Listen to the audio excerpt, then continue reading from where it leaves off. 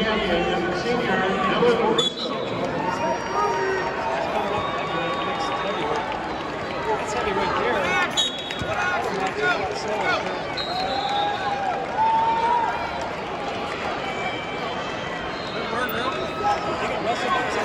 Wrestling next on number six, about 215, Division 2, 190 pounds.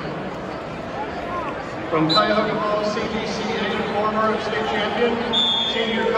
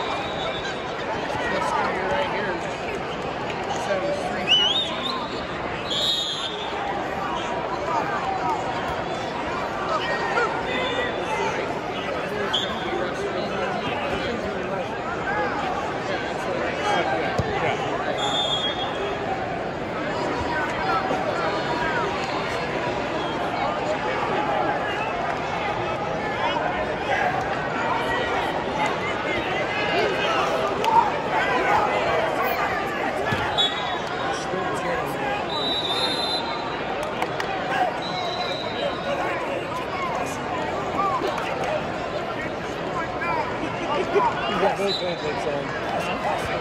Boat maintenance stuff, know.